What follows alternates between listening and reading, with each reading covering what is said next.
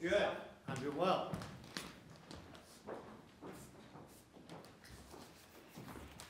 Now, for those of you who may have been noticing, I've been using the hand sanitizer before I come up.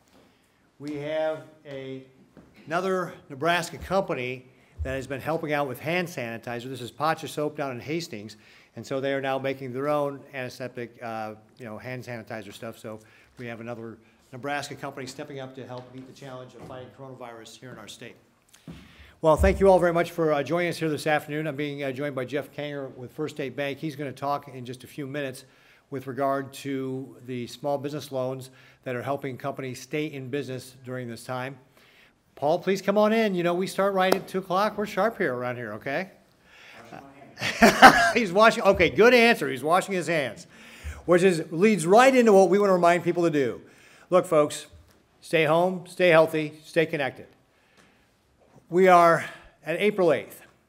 If you look at some of the models out there with regard to how the coronavirus is spreading in our state, we think we're going to reach that peak here in Nebraska about the last week of April. So we really want to make a push here for the last few days of, or for the rest of the month of April, to really make sure we're all following these guidelines around stay home, stay health, stay healthy, stay connected that we want everybody to be following those social distancing guidelines. Notice that Jeff is standing very far away from me, six feet away, right? More than six feet away. The 10 person rule don't go to any social gatherings uh, with more than 10 people. That we're washing our hands frequently with soap and water for 20 seconds at a time.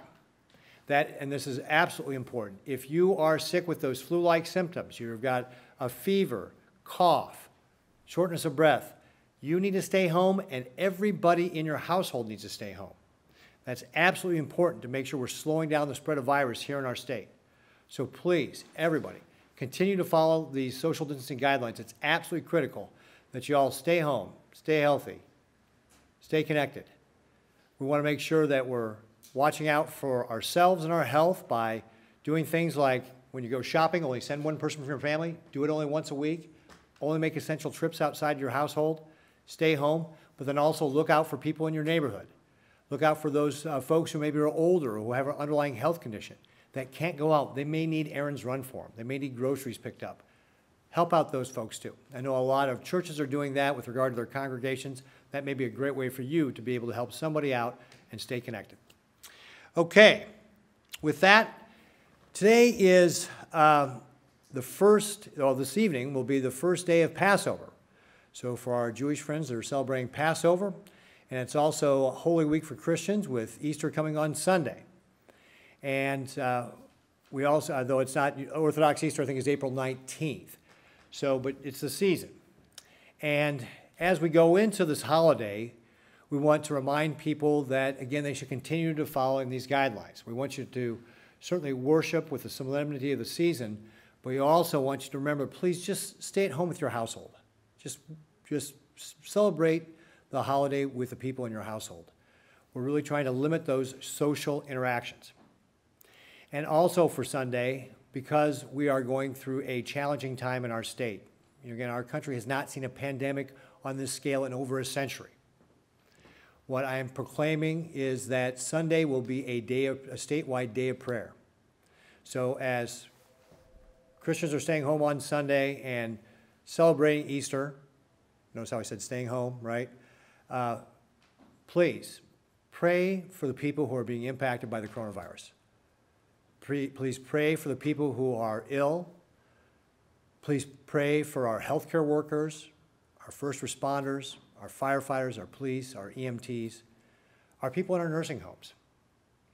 Please pray for all these people that have been so impacted by the coronavirus.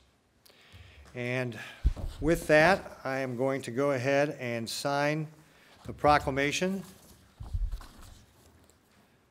making Sunday a statewide day of prayer.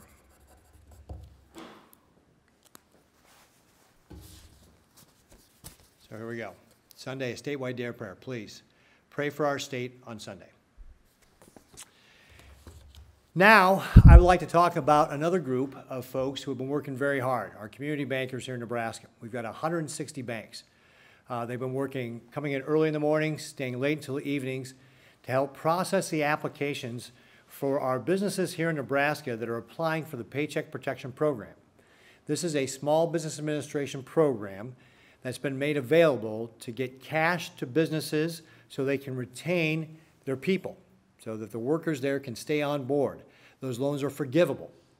And this is something that the Treasury Department has been working on. President Trump has supported. In fact, President Trump and Secretary Mnuchin have both said they want to see more money for this program.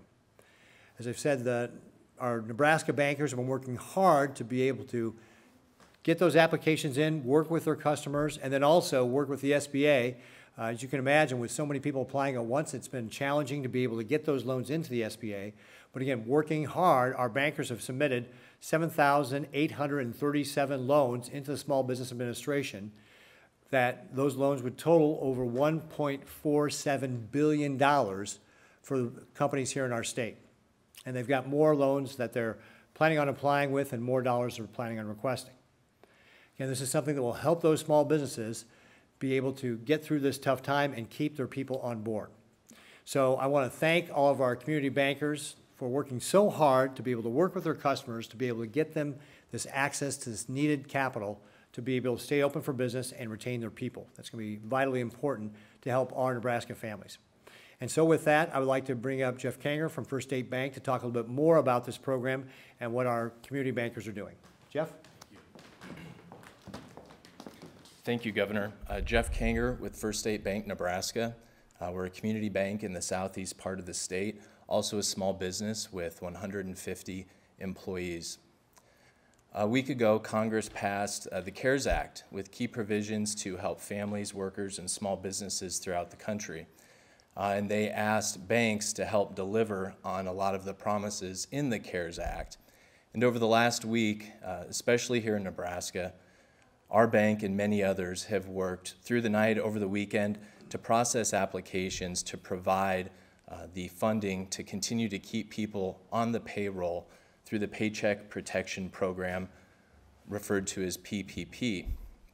And the way we're messaging with our customers uh, and a lot of our peer banks is the Paycheck Protection Program kind of has four quarters to it.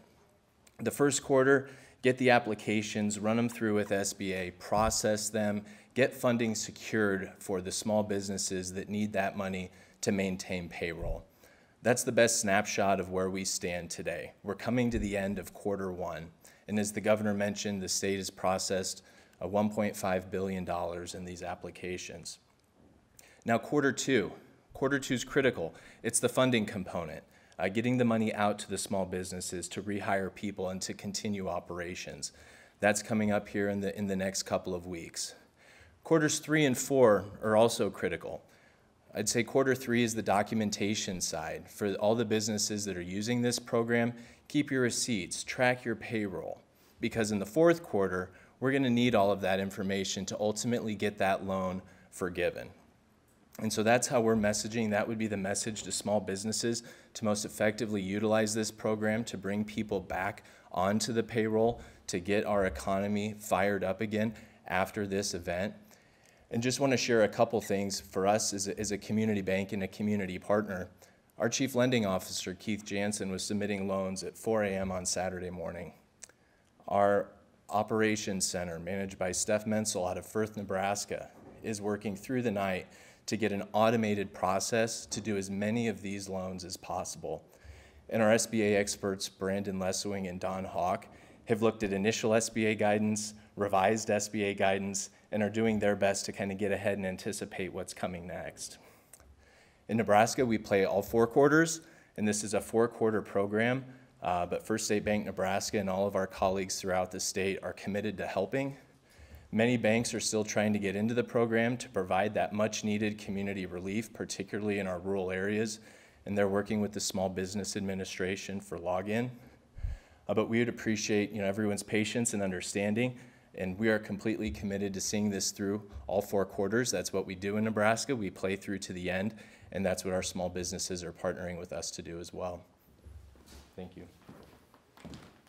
Great. Thank you very much, Jeff. I appreciate that. I like the football analogy there.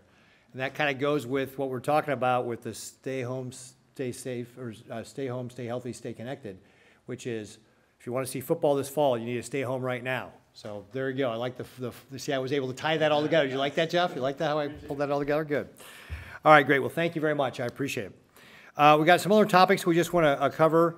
Uh, one of the things I wanted to highlight is some of the work that people are doing with regard to reaching out to folks whose English is not their first language.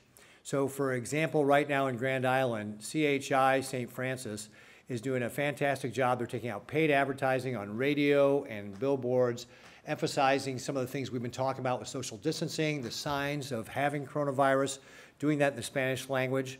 I want to thank Dr. Grover at the Grand Island Public Schools because she has been sending out messages to her families. Again, same sort of thing, getting that message out. Um, we talked, I think we talked previously about JBS. They are working uh, with regard to sending home information with their folks, not only in English, but in Spanish and Arabic to be able to help that.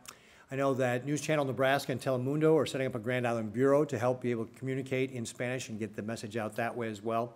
And of course, here at the state of Nebraska, we are also looking for ways to be able to do uh, more with regard to communicating in Spanish. And so you'll be seeing on my social media uh, those postings in Spanish and uh, to be able to help facilitate communication that way as well. So we're looking to be able to expand that communication that way. Uh, We also had a question earlier about tobacco delivery. Paul, I believe this is one of your questions.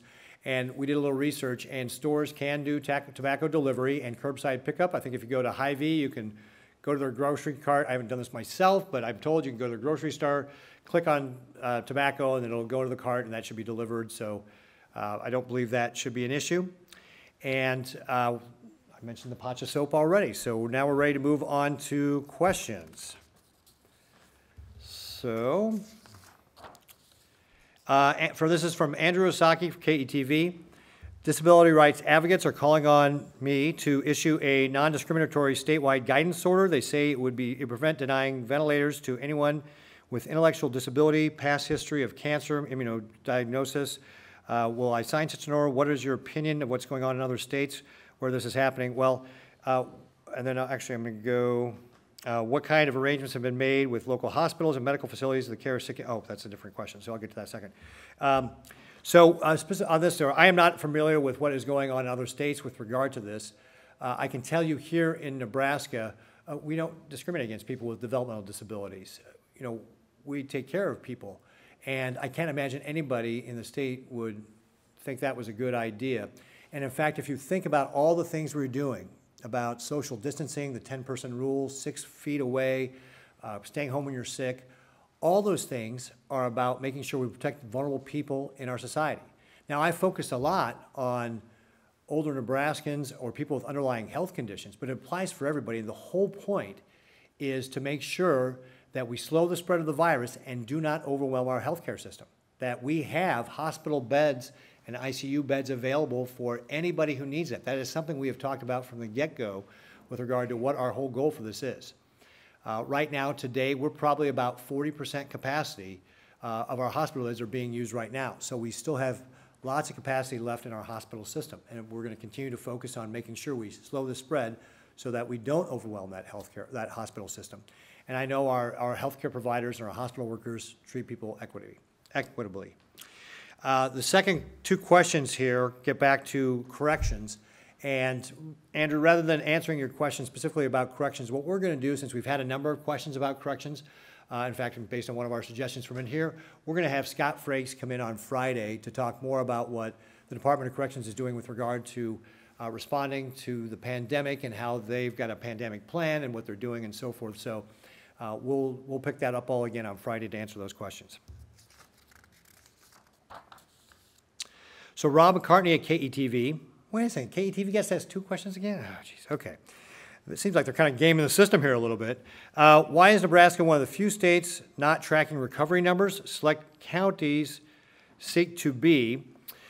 Uh, we, uh, we don't have a real good way to, uh, to count those recoveries or to track those recovery numbers right now. And when, you know, we have the ability to do that later on, we may be able to do that. It's not part of our decision-making process right now. We're really focused on where do we have positive cases being identified and so forth. Uh, But if we have the capability to do that later on, we may uh, do that. But right now, we don't have the facilities to- or the capability to be able to track recoveries. Um, And it's not as useful to us as some of the other things we are tracking. Uh, What are the self-quarantine directions for out-of-state travelers? Nebraska's website only references a few regions. Will information provide, uh, provided on March 30 and 31st be formalized into guidance from the state? Uh, So I think what Rob's referring to is saying, hey, anybody who's traveling outside of the state of Nebraska and coming back to Nebraska, so if you're one of those snowbirds, maybe from Arizona or Florida, when you come back, you need to quarantine for 14 days. If you're from out of state and you've got a cabin here in Nebraska and you're coming to Nebraska, you need to quarantine for 14 days.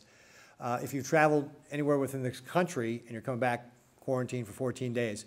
Uh, what Rob is pointing out is our website does not reflect that specifically. We are working to uh, get that all updated, but again, please follow that direction. If you've been traveling out of state and you come back, quarantine for 14 days.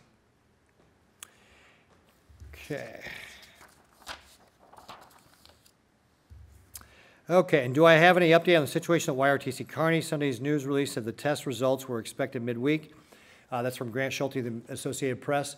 So we uh, used the National Guard on Sunday to start doing testing at YRTC. My understanding is, Dr. Antonio, I talked to you earlier today, we didn't have those results back, or do we? Oh, no, that was Grand Island. Do we have results from YRTC? We do. You want to come up and talk about those for a little bit? Sure. Come on up, please. Yes, uh, National Guard set up testing site in, at the YRTC in Kearney on Sunday and some on Monday. On Sunday, over 162 tests were done. On Monday, close to 100 tests were done. And so far, there's only been two staff members that have tested positive.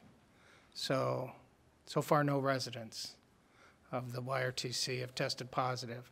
So those are, it's good news for everybody. Again, all the contact investigations were done appropriately. So we should be getting, uh, Grand Island was set up for testing yesterday, and today, again, testing is being done, and we should have those results by tomorrow. Two total. Two total. No, no, re- Thank you, Dr. Anthone. Uh, Marion Bailey from WWT. Once social distancing is lifted, will things go back to normal all at once, or will the governor suggest releasing it in phases? So, uh, example, we will go to groups of 20, uh, the question is, will we go to groups of 25, then 50, then maybe 250, and um, so forth? Will it, uh, other businesses be added back in uh, as a, in phases? So, uh, Marion, actually, you've got it exactly right. As we get to the end of April and we're reevaluating uh, where we are with regard to the numbers and the social distancing and so forth, and at whatever point we decide we're going to start relaxing those restrictions, they will just be relaxed. They will not all be taken off at once. So we will do it in stages because what we want to do is make sure that we don't see a bounce back by the virus. So as we start lifting those restrictions, we want to, we're going to keep a lid on those new infection rates so that we don't see uh, spikes in the outbreak of the virus. So that's really going to be our goal is to, to keep a lid on how fast that virus is spreading here on our state once we start lifting those restrictions. Okay, Taylor, did we get any more in? Yes, Joanne Young wants to know, has the state had consultations with Gage County and the retirement center there about their COVID cases? And should Gage County have been under a state directed health measure earlier? So with regard to Gage County and the um, long-term care facility down there that had the number of cases of people testing positive, uh, the state has reached out to them. They're doing the contact investigation like they would always do. Actually, I think it would be the local public health departments doing that contact investigation to trace how that all got done and quarantine people appropriately. I think you said we've actually moved some of the more acute care people from that facility. Is that accurate, Dr. Anthone? And uh, then with regard to the, the second part of the question, uh, Joanne said, should that have been done sooner? Again, we were very clear over a month ago, well, no, about a month ago, uh, how we were doing, working on all this with regard to being able to, um, you know, roll out those directed health measures across the state as we saw this. And so, uh, you know, our plan was pretty clear from the get-go. But even before we issued the directive health measure for, that included Gage County, I had been in contact, for example, with Stan Wirth, the mayor of Beatrice, because Gage County was still covered under the 10-person rule from March 16th. And so when he had some issues with some businesses, he and I were on the phone talking about how to handle it. So uh, this was something where, you know, we'd had engagement, uh, you know, down in Gage County uh, prior to this, and it really was being treated the way every place else in the state was being treated with regard to, hey, you're supposed to be uh, uh, enforcing the 10-person rule. And remember that, the- when we put the DHM, while it did things like make sure the schools were operating without children until May 31st, that was already happening. We talked about restaurants not having dine-in or bars not having dine-in, it was all carry-out, but remember, they were limited to 10 people already beforehand. So in many ways, the DHM uh, was, uh, prohibited elective surgeries, but the 10-person rule was already in fact everywhere, uh, in place everywhere in our state, going back to March 16th. We have two questions from KPTM. The first one is, is there a reason Nebraska is not tracking or releasing the number of people who have recovered from COVID? Okay, I- uh, with regard to KPTM, I just answered the question for Rob McCartney about why we're not tracking recoveries. We just don't have the facility to be able to do that right now, and it's not as useful as some of the other data we're tracking. Um, the president said today that Republicans should fight against statewide mail-in voting. Are there concerns about our mail-in voting system ahead of next month's primary? So uh, KPTM is also saying, apparently the president said, and I have not seen this, so I'm taking their word for it, that, that uh, states should fight against mail-in voting programs. Uh, We have and been promoting our early ballot request program that has been mailed out to everybody in the state. And we're encouraging people, this is a great way to be able to vote in the May 12th primary. The May 12th primary is not being moved, it's happening May 12th. But your early ballot voting request form is due May 1st. So that's a little green card, got it in the mail, fill it out, send it back, you'll get your ballot in the mail, you can then mail it back in, or you can drop it off one of your county boxes. And we are encouraging people to take advantage of that, to be able to do it. Polling stations will be open, but uh, the early ballot request form is a great way to be able to participate in the uh, May 12th primary and to be able to vote. Martha Stoddard has two questions. The first one is Senator Stinner said today that economic damage caused by the coronavirus has wiped out chances of property tax relief because state revenues will drop. Do you agree? So Martha Stoddard is asking that uh, uh, Appropriations Chair John Stinner in the legislature has said that the coronavirus and the impact on the economy and state revenues has wiped out the chance for property taxes. Uh, I believe that is way too premature to be able to say that right now. Certainly, we expect impacts on the revenues, um, but how that is going to play out, I think we just don't know at this point with regard to how that's going to impact our state revenues or the uh, property tax bill and so forth. So it's, it's too early to tell at this point. State employees are being required to work in offices with many, more than ten people. What provisions are being made to protect them and their coworkers? So uh, Martha also asked, uh, our state teammates are being asked to work in buildings with more than 10 people, and what precautions are in place to be able to uh, keep them safe. So again, first of all, let's just take a step back. Uh, You can have a big office building, and I know there's anecdotal evidence of this, of people going to work in those buildings, there's hardly anybody there. Uh, And that's in part, large part, because our companies, including the state, has encouraged people to work from home. So we at the state, we're trying to get people to telework, uh, all that sort of stuff with regard to making sure that we can uh, really spread people out. In our buildings, we're working to spread people out. Uh, We're also doing additional sanitation and janitorial services to be able to help keep uh, things clean. And uh, we can follow up Martha with a more exhaustive list of all the things that we're doing to help, you know, protect the, the health and safety of our teammates. But we certainly are doing that here in the state of Nebraska. We understand that there's going to be many businesses who have more than 10 people. Again, the key, folks, is having 10 people in a social gathering in a group. You can have 10 people in a big building, if you space them all out, they're going to be just fine. William Padmore has two questions. Uh, will efforts be made to reach the Yazidi population or people who speak Arabic? So uh, William Padmore asks, are there efforts being made to reach the Yazidi population or people speak Arabic? And certainly I would encourage, this is a great opportunity to stay connected. So if you know of people in your community that English is not their first language and you speak, say, Arabic, that's a great opportunity to be able to work with those folks to be able to help make sure that they're getting the things they need, whether it's groceries, uh, they're staying home, they understand all the social distancing guidelines, all of that. Great opportunity for people to get engaged with their congregations. I know companies, again, I mentioned JBS earlier, they're doing communications in Arabic. Uh, So I- there's a number of folks out there that are doing it.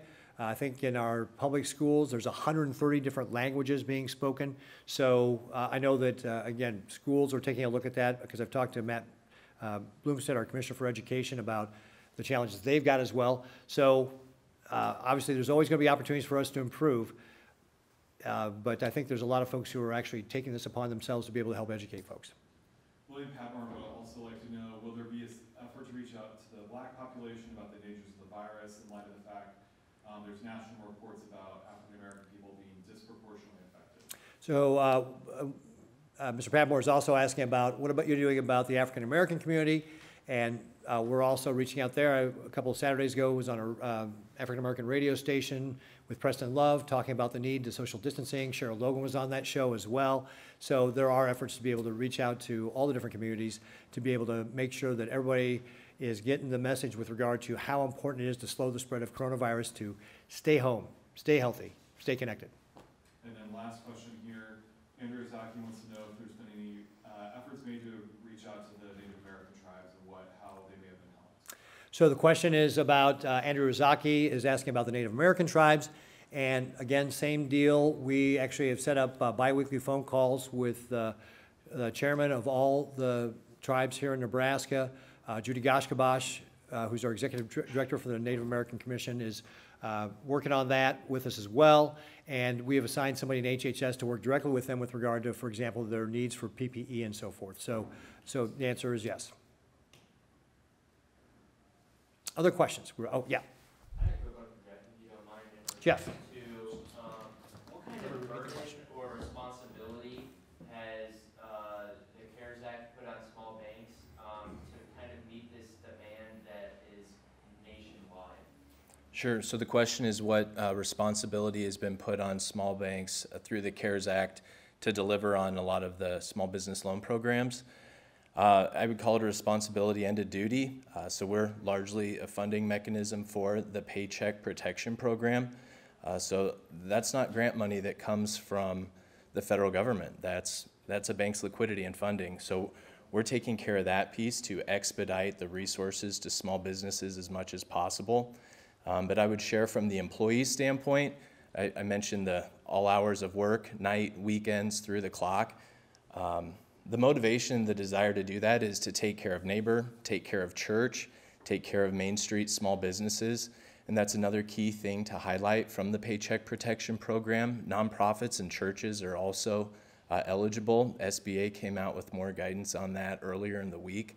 So when you see folks across Nebraska's community banks staying late, coming in early, and going through the weekend, they're doing it for their neighbors. Um, and so, yes, there is a responsibility there through the CARES Act. There's a huge investment from First State Bank Nebraska and others, but also a duty because we're all in this together. So how does it work? You lend money to a local business, they provide the documentation, and then you forgive the loan and the government ultimately reimburses you?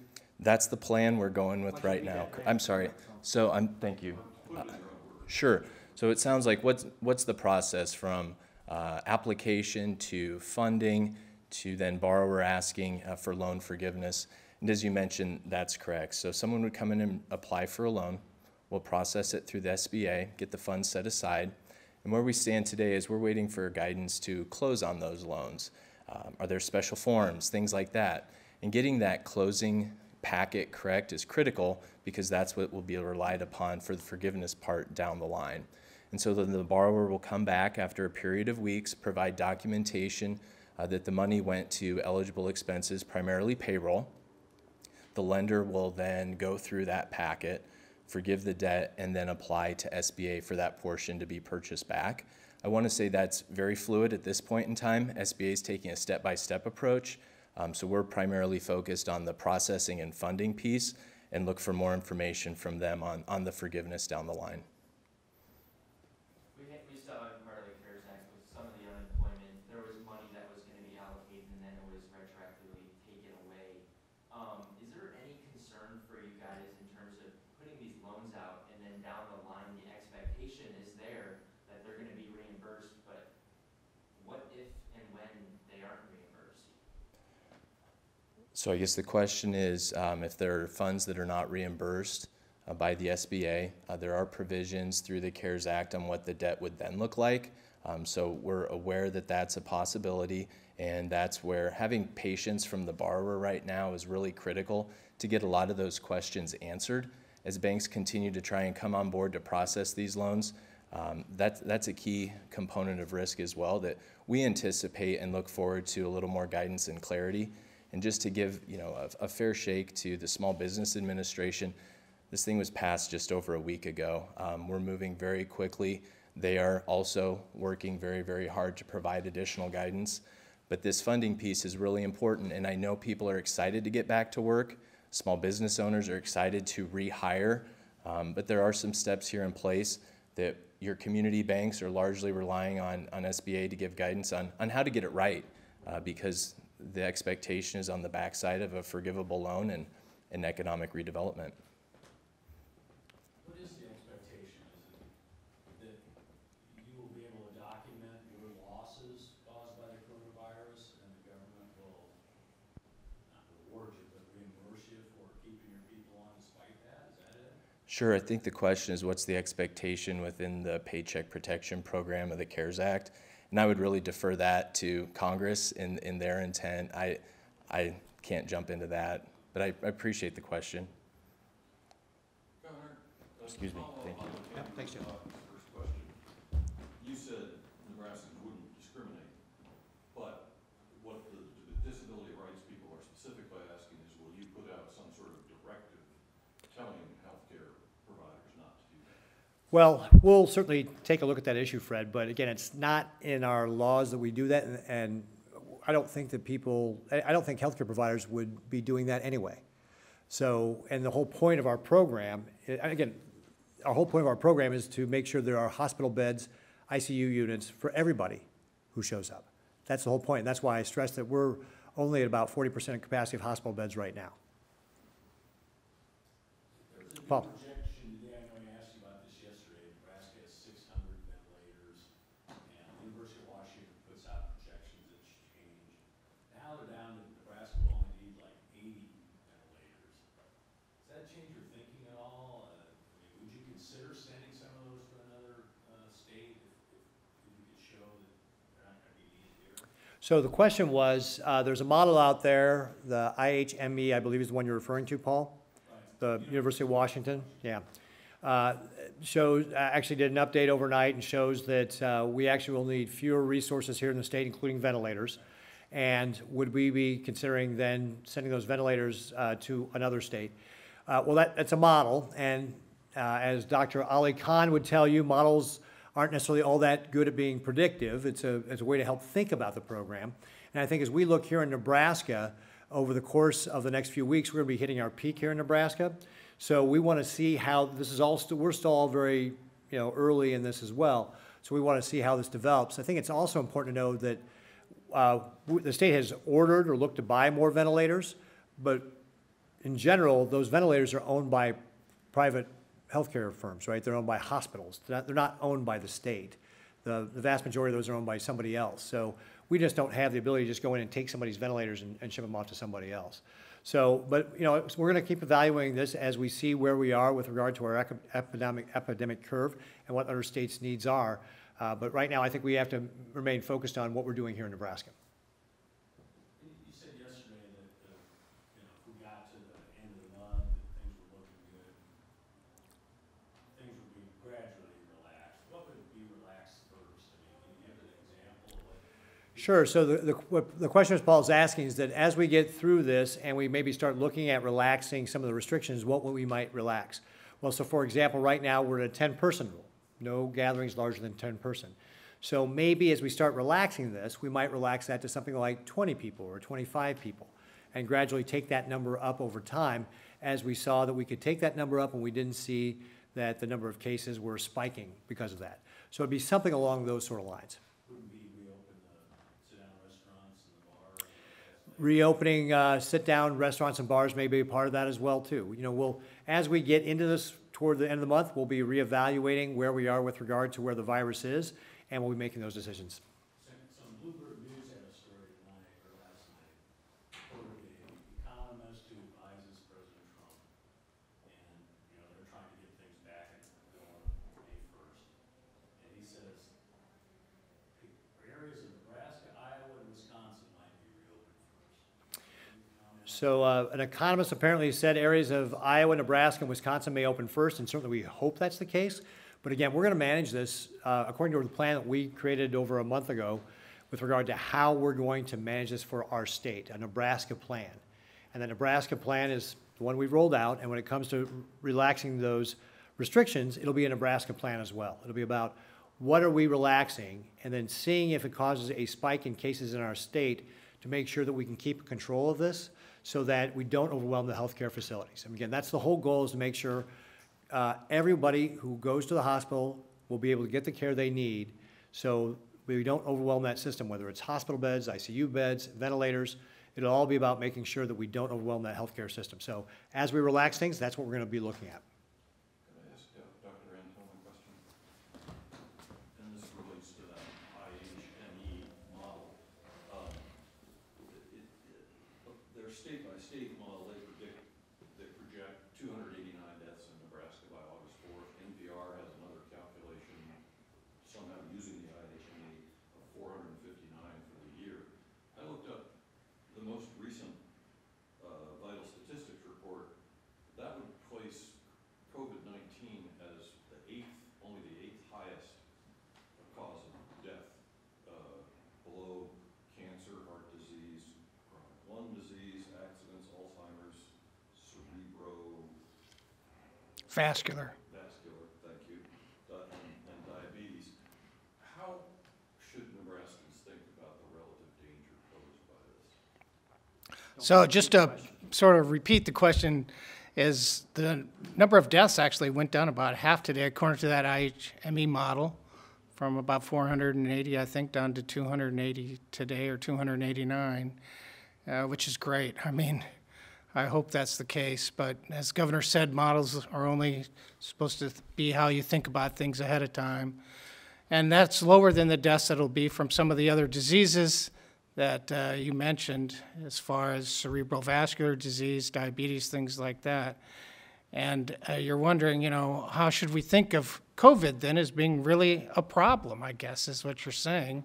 Should we even think that it's a problem? Number one, I'd answer that by saying we've, the local public health departments, the governor's leadership, everybody's leadership at DHHS, I hope has kept it that way. And that's why we're in that situation to begin with. That's why maybe the model even went down from yesterday to today. And that's without even making any of the adjustments that the governor's already implemented in this state. But we have to take it seriously. I mean, it's, it's, it's a serious disease. Once it strikes, especially in elderly or patients with comorbidities, it's, it's sort of like the tipping point for them to, to actually cause a death or a fatality. And we don't want that to happen. We want to keep those people alive if we can. So I think it's, it's I mean, it's good that you asked that question, but I, I think we still are taking it very seriously at this point. We have a question that, um, the governor and Dr. Anthone can both answer. From Bill Shammer at ten eleven, is it too early to start thinking about a second round of COVID in the fall, as many experts predict, and how's the state thinking about that? I'll, I'll go first and I'll let the governor go, but um, my thought about that is that once, once we get a certain prevalence rate in the public and they become immune, basically, by catching the disease, you become immune. And then it's sort of like doing a vaccine. You have maybe 40%, 50% of the population vaccinated. And so we'll, we'll keep doing what we're doing. I mean, we're still going to practice good hygiene, cover your cough, things of that nature, try to keep that second surge from coming. Did you want to add anything? Sure. So I think this also gets back to, um, the question is about, again, what happens if some experts are predicting a second rebound in the fall? This gets back to how we manage the restrictions and how we loosen them up steadily over time rather than taking them all fall at once, so that we can make sure we manage the level of virus in our state, so we don't see the kind of bounce back that some experts are predicting. So obviously, one of the things that we're gonna have to manage when we get there is uh, what are we doing about schools coming back in session? And that's something we'll work uh, closely with um, the Commissioner of Education, Matt Blomstedt, and our superintendents across the state to be able to manage and figure out the best way to do it. Is there a question for Jeff on? Jeff. Uh, Becca from NET would like to know, have any small businesses actually gotten money, uh, from the loans from the CARES Act yet? So the question was, have any businesses received funding on loans from the CARES Act yet? Um, There are a few different loan programs. I can speak to the Paycheck Protection Program that we're participating in. Um, I'm not aware of, of any Nebraska banks that have funded loans at this point in time. Okay. Other questions?